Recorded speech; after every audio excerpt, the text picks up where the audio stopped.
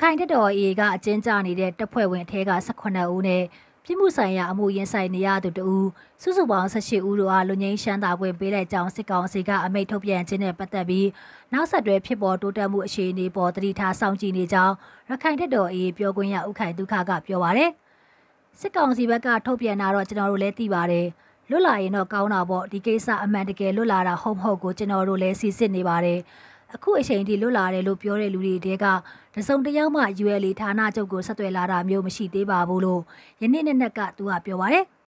စစ်ကောင်စီကပြည်တံလူငင်းချမ်းသာခွင့်ပေးရမှာရခိုင်တပ်တော် A က17ဦးပါဝင်ပေမဲ့လွတ်မြောက်လာသူတွေကတစုံတရာကမှ ULA ဌာနချုပ်ကိုဆက်သွယ်လာခြင်းမရှိသေးတာကြောင့်သတိထားစောင့်ကြည့်နေခြင်းဖြစ်ကြောင်း၎င်းကပြောဆိုပါရယ် နိုဝင်ဘာလ18ရက်နေ့မှာအမျိုးသားအောင်ပွဲနေ့ကိုဂုဏ်ပြုပြီးတိုင်းရင်းသားစီလုံးညီညွတ်ရေးနဲ့ပြည်တွင်းငြိမ်းချမ်းရေးကိုခြေချူရေးဆိုက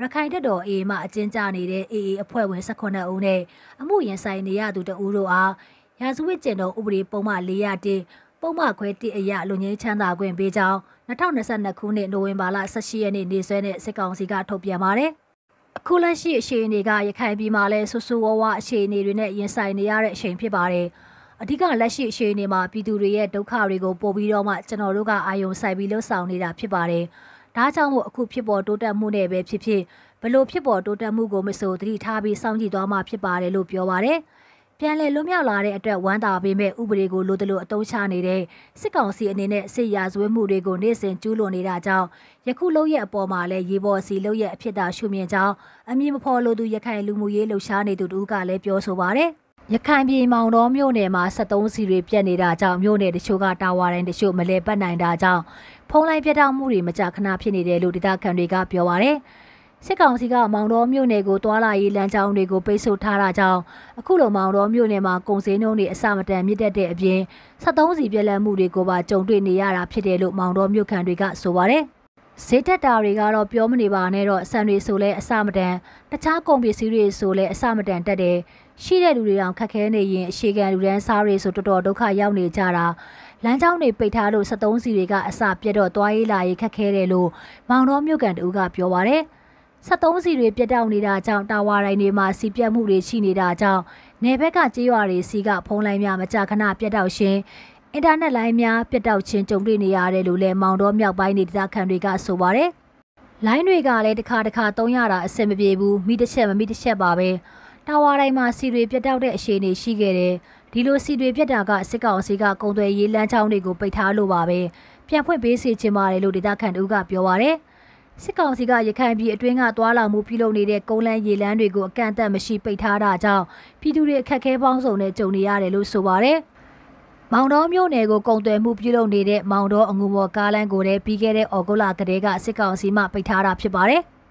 ရခိုင်ပြည်ကမြို့နယ်တွေကိုစေဝါတည်ယူခွင့်ပိတ်ထားတာ၃လခန့်ကြာပြီဖြစ်တဲ့အတွက်ပုံမှန်ကာကွယ်ဆေးတွေအပါအဝင်တခြားဆေးဝါးတွေပြက်လက်မှုတွေနဲ့ကြုံတွေ့နေရတယ်လို့ကျန်းမာရေးအတိုင်းဝိုင်းကပြောပါရယ်။ရခိုင်မှာစစ်ကောင်စီကဆေးဝါးတည်ယူခွင့်ကိုအကန့်အသတ်မရှိပိတ်ထားတာကြောင့်မြို့နယ်တချို့ကဆေးကန်ဆေးရုံတွေမှာဆေးဝါးပြတ်တောက်ကအခက်အခဲဖြစ်နေကြတယ်လို့ပြည်သူ့ကျန်းမာရေးဝန်ထမ်းတဦးကပြောပါတယ်။ကာကွယ်ဆေးကကိုဝင်ဆောင်ကာကွယ်ဆေးတစ်ခုပဲကျန်တော့တယ်တခြားဆေးတွေပြတ်သွားပြီးဆေးရုံဆေးကန်တွေမှာလည်းဆေးတွေပြတ်သွားပါပြီလို့၎င်းကပြောပါတယ်။ ဆေးဝါးတွေပြတ်တောက်မှုနဲ့အတူဆေးဝါးဆေးနှုန်းတွေဟာလည်းအစမတန်တက်နေတာကြောင့်အသက်ပါဆုံးရှုံးနိုင်တယ်လို့ဆေးကိုအမြဲမပြတ်စောင့်နေရတဲ့ရတိတောင်မြို့ကန်တူကပြောပါရယ်။အခုဆိုအဆဆအရာရာဈေးကြီးပေးပြီးစားတောက်နေရတယ်ကိုကဈေးကိုအမြဲတောက်နေရတော့ဈေးတက်လဲကိုအသက်အတွက်တော့တောက်ရတာပါပဲ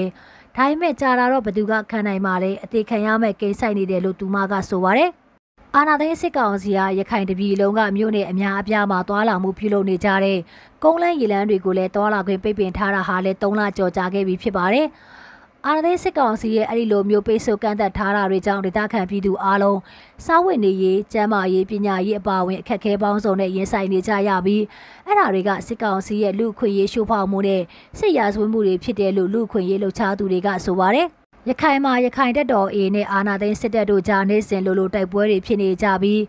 အာဏာသိမ်းစစ်တပ်ဘက်ကလက်နက်ကြီးလက်နက်ငယ်တွေနဲ့အရက်သားပြည်သူတွေကြေးရွာရက်ကွက်မြို့စာတင်ကျောင်းဖုန်ကြီးကျောင်းတွေကိုအကြောင်းမဲ့ပစ်ခတ်နေတာမို့ဒေသခံပြည်သူတွေတည်ဆုံတန်ရာရရှိမှုတွေရှိနေပါတယ်။အဲ့လိုထိခိုက်ဒဏ်ရာရရှိသူတွေဟာစစ်ကောင်စီရဲ့ကန့်သက်တားမြစ်ပိတ်ဆို့ထားတာကြောင့်အချိန်မီဆေးဝါးကုသခွင့်မရတာမို့တည်ဆုံမှုတွေအထိရှိနေကြတယ်လို့လည်းဒေသခံပြည်သူတွေကဆိုကြပါတယ်။ မြန်မာနိုင်ငံကလိုက်နာပါမယ်လို့လက်မှတ်ရေးထိုးထားတဲ့အပြည်ပြည်ဆိုင်ရာလူခွင့်ရေးကြော်ညာစာတမ်းအပိုက်25အပိုက်ခွဲတင်မှာတော့လူတိုင်းတွင်မိမိနဲ့တကွကိုစိတ်နှပြအေဂျင့်စွာနေထိုင်ရေးအတွက်အစာအာဟာရအဝတ်အထည်နေအိမ်စေဝါအကူအညီနဲ့လိုအပ်တဲ့လူမှုအထောက်အပံ့များပါဝင်သောလျှောက်ပတ်တဲ့လူမှုအဆင့်အတန်းကိုရယူခန်းစားခွင့်ရှိတယ်လို့ဖော်ပြထားပေမဲ့စစ်ကောင်စီကတော့လစ်လျူရှုထားပါတယ်။ ရခိုင်ပြည်အတွင်းမြန်မာစစ်တပ်နဲ့ရခိုင်တပ်တော် AA တို့ကြားတကြောပြန်တိုက်ပွဲပြင်းထန်လာမှုတွေကြောင့်တိုက်ပွဲဧရိယာထဲမှာနေထိုင်ကြတဲ့ကျောင်းနေအရွယ်ကလေးငယ်တွေဟာပညာသင်ကြားရန်ခက်ခဲများရှိနေကြောင်းသိရပါဗျ။တိုက်ပွဲဖြစ်ပွားမှုလက်နက်ကြီးပစ်ခတ်မှုလေကြောင်းပစ်ခတ်မှုတွေကြောင့်တိုက်ပွဲဧရိယာအတွင်းကဒေသခံတွေရာထွက်ပြေးတင်းရှောင်နေကြရတာကြောင့်စာတင်ကျောင်းများကိုလည်းပိတ်ထားကြရပါတယ်။ ပြီးခဲ့တဲ့ရက်သတ္တပတ်အတွင်းကမြန်မာစစ်တပ်ကလက်နက်ကြီးလက်နက်ငယ်ပစ်ခတ်မှုများလေကြောင်းပစ်ခတ်မှုများနဲ့စစ်ကြောင်းဝင်ရောက်မှုတွေကြောင့်ပုံနာကျုံမြို့နယ်ရှိစင်အင်းကြီးပဒေတာရာချောင်းအလဲကျွန်းတန်ကိုရေပေါချောင်းကျော်စံကျွဲထိုးစားတဲ့ကျွော်တွေကဒေသခံ9000ခန့်ဟာဘေးလွရာကိုထွက်ပြေးတင်းချောင်နေကြရပါတယ်။ကျွဲထိုးကျွော်ကចောင်းသားမိဘတအုပ်ကဆရာဆရာမတွေလည်းထွက်ပြေးသွားကြတာပြက်မြောက်သေးပါဘူး။ ကလေးတွေလည်းစာမတင်ရဘူးဖြစ်နေတယ်ဘယ်အချိန်ထိကြောင်းပိတ်ထားမလဲဆိုတာလည်းမပြောတတ်သေးပါဘူးရွာသားတချို့တဝက်ကတော့ရွာကိုပြန်ရောက်နေကြပါပြီတချို့ကတော့ပြန်မလာကြသေးပါဘူးအကုန်လုံးကတော့စိုးရင်စိမ့်နဲ့နေကြရတာပါပဲလို့ပြောပါတယ်ထို့သောဒေတာမတိမငြိမ်မှုတွေကြောင့်ကျေးရွာသားများနဲ့အတူဆရာဆရာမတွေဟာလည်းအဆိုပါကျေးရွာများမှထွက်ပြေးတင်းချောင်နေကြရပြီးစာတင်ကျောင်းများကိုလည်းပိတ်ထားကြရပါတယ်။ အလားတူရသေးတောင်မြို့နယ်မှာလည်းလက်နက်ကြီးပစ်ခတ်မှုတွေကြောင့်ပြိန်တော်ရက်ခုံတိုင်းသမီးလရေမြက်ကလားချောင်းညောင်ပင်လဘော်ဒီကုန်းစတဲ့ကြီးရွာ30ခန့်မှဒေသခံအများစုဟာထွက်ပြေးတင်းရှောင်နေကြရတာကြောင့်စာတင်ကျောင်းများကိုလည်းပိတ်ထားရတာဟာ3လခန့်ရှိနေပြီဖြစ်ပါတယ်။ပြိန်တော်ကြီးရွာမှာဒေသခံတို့ကလက်နက်ကြီးတွေနဲ့ပြစ်တော့ចောင်းသားမိဘတွေလည်းမနေရတော့ဘူး။ចောင်းသူတယောက်လည်းလက်နက်ကြီးကြလို့တေဆုံးသွားတယ်။ဆရာဆရာမတွေလည်းကြောက်လန့်လို့ထွက်ပြေးရွာသားတွေလည်းအကုန်လုံးထွက်ပြေး ရွာမှာလည်းဆရာဆရာမတွေနဲ့ကျောင်းသားတွေလည်းမရှိဘူးဆိုတော့ကျောင်းတွေပိတ်ထားရတာပေါ့လို့ပြောပါတယ်။ပြိန်းတော်ကျေးရွာကအသက်73နှစ်အရွယ်တထမရန်ကျောင်းသူတဦးဟာအော်တိုဘာလ19ရက်နေ့ကနေအတွင်းရှိနေစဉ်လက်နက်ကြီးကြီးကြားရောက်လာတာကြောင့်ကြီးထိမှန်ပြီးတည်ဆုံခဲ့ခြင်းဖြစ်ပါတယ်။ တကြောပြန်တိုက်ပွဲအတွင်းမြန်မာစစ်တပ်မှချက်တိုက်လေယာဉ်များအုံပြုကတိုက်ခိုက်မှုများရှိနေတာအပြင်ရခိုင်ပြည်အတွင်းရှိစစ်တပ်စခန်းနေရာ18ခုခန့်မှလက်နက်ကြီးများနဲ့ပစ်ကူတိုက်ခိုက်မှုများရှိတယ်လို့ရခိုင်တပ်တော် A ကအော်တိုဘာလ9ရက်နေ့မှာထုတ်ပြန်ထားပါတယ်။တိုက်ပွဲဖြစ်ပွားမှုအပြင်လမ်းများကိုလည်းပိတ်ထားတာကြောင့်မင်းပြမြို့နယ်အတွင်းကဖလောင်းပြင်ရေငန်ဆယ်ရှောင်းဝချောင်းပြားနန်းချောင်းကန့်ချောင်း ကြားပိုက်ကီစားတဲ့ကြီးရွာတွေကစာတင်ကျောင်းများအပါအဝင်စာတင်ကျောင်းပေါင်း20ခန့်ကိုပိတ်ထားရတာဟာတလခန့်ကြာမြင့်နေပြီဖြစ်ကြောင်းလုံခြုံရေးအရာအမည်မဖော်လို့တဲ့ပညာရေးဝန်ထမ်းတဦးကပြောပါရယ်ကျက်စင်တရာလမ်းကလုံးဝမဖွင့်ပဲပိတ်ထားတယ်အခုကတခြားခီးတဲ့တွေရောဆရာဆရာမတွေလည်းမသွားရဘူးဆိုပြီးလမ်းပိတ်ထားတာဖြစ်တယ်လမ်းဖွင့်မှသွားရမယ့်အရှိတွေဖြစ်နေတယ်အခုကလမ်းပိတ်ထားလို့သွားလို့လည်းအဆင်မပြေဘူးလို့၎င်းဒေတာမှာတာဝန်ကျနေတဲ့ကျောင်းဆရာမတဦးကပြောပါရယ် လက်တလုံးမှာရခိုင်ပြည်အတွင်းကမင်းပြကြောက်တော်ရတိတောင်မောင်တော်နဲ့ပုံနာကျုံမြို့နယ်တို့ကစာတင်ချောင်းစုစုပေါင်း60ခန့်ဟာယာယီပိတ်ထားရတယ်လို့ဒေသခံများနဲ့လူမှုကူညီရေးအဖွဲ့တွေကသိရပါဗျ။ရခိုင်မှာဖြစ်ပွားနေတဲ့ကြောပြန်တိုက်ပွဲများအတွင်းစာတင်ကျောင်းများပိတ်ထားရကြောင်းသက်ဆိုင်ရာမြို့နယ်ပညာရေးမှူးများမှတင်ပြလာခြင်းမရှိသေးဘူးလို့ရခိုင်ပြည်နယ်ပညာရေးမှူးဥပထွေးစိန်ကပြောပါရယ်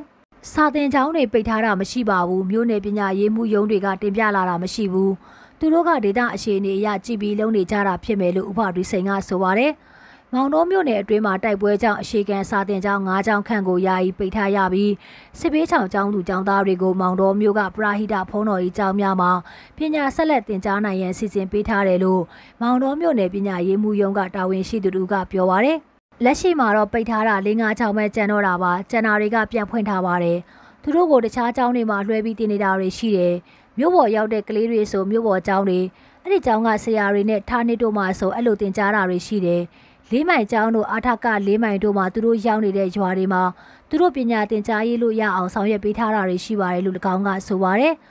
ရခိုင်ပြည်နယ်အတွင်းကမြို့နယ်18မြို့နယ်မှာအခြေခံပညာစာသင်ကျောင်းစုစုပေါင်း3000ကျော်ရှိကြောင်းရခိုင်ပြည်နယ်ပညာရေးမှူးရုံးရဲ့စာရင်းအရသိရပါတယ်။